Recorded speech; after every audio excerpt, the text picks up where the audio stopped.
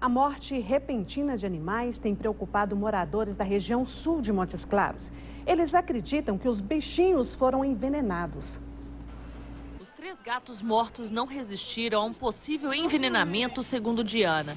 A dona dos animais cuida de dezenas de outros abandonados nas ruas de Montes Claros. Ela explica que esta não é a primeira vez que isto acontece e que já perdeu outros 15 bichinhos da mesma forma. Eles estão pondo veneno e assim, eu não, não consegui segurar eles aqui dentro de casa. É, em cinco minutos que eles saíram daqui de dentro de casa, eu já encontrei eles agonizando ali em cima do, do telhado, sabe? Ainda segundo Diana, em uma das vezes chegou a chamar a polícia, mas não viu resultados após o registro do boletim de ocorrência. Eu não sei mais o que fazer. O que eu pude fazer, eu já fiz. Envenenar animais é considerado crime de maus tratos e está previsto no artigo 32 do Código Penal. E no bairro Maracanã, não é só Diana que já passou pelo problema. Dona Francisca tem mantido presos no quarto, durante a noite, Theo e Frederico. Os cães são mais fáceis de se controlar, mas os felinos adoram sair. Por isso, já perdeu um outro gato envenenado e tem medo de ocorrer novamente. Eu fico com dó dos bichos, os bichos não têm culpa de morrer.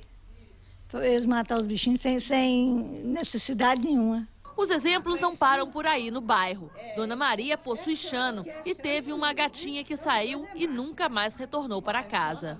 A gente cria porque a gente tem amor, né? E os bichinhos têm a gente também. Entender como é que fica a situação, mas matar não.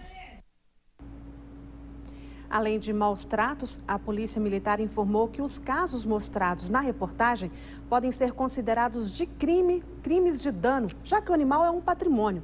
Disse ainda que a PM registra o boletim de ocorrência e encaminha a Polícia Civil para ser investigado. A Polícia Civil confirmou que os casos são apurados e o resultado é direcionado ao juizado especial. Para quem comete violência contra animais, a pena é de três meses a um ano de prisão, além de multa.